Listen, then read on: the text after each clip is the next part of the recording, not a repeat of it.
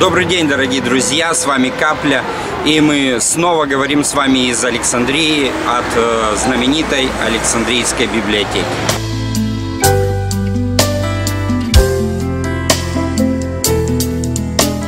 Христианский террор или бойня, которую устроил э, патриарх Александрийский э, в IV веке, я гулял по набережной Александрии, возле Александрийской библиотеки, которую построили на месте старой. Я думал о том, что сегодня церковь мало чем отличается от э, Александрийской церкви. Мы по какой-то причине думаем, что мы призваны что-то разрушать, крушить, э, являть какой-то там э, террор и так далее, и так далее, и так далее. Но мы ведь не призваны к этому. Нужно ли нам бороться с язычеством?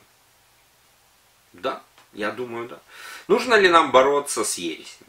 О, без проблем. Нужно. Нужно ли нам бороться с лжерелигиями? Да. Нужно ли нам бороться с чем-то нечистым? Конечно. Но мне кажется, что существует один очень важный посыл, а, способ, если хотите, борьбы – Писание говорит, побеждай зло добром.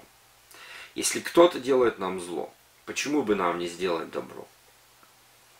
И если когда-то христиане а, спустили спусковой механизм уничтожения Александрийской библиотеки, то почему сегодня, когда ее восстанавливали, христиане не принимали в этом участие? И вы знаете, сегодня а, это новое, красивое, хай-тековское здание – такой памятник христианского вандализма и не извинения. Нам кажется, что искореняя что-то, мы поступаем правильно. Но мне кажется, что для того, чтобы было правильно, нам необходимо просто делать что-то доброе.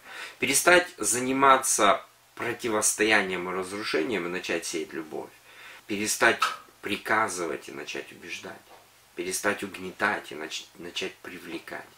Я думаю, что если мы будем любить, то это будет иметь большее действие, нежели если мы будем искоренять зло.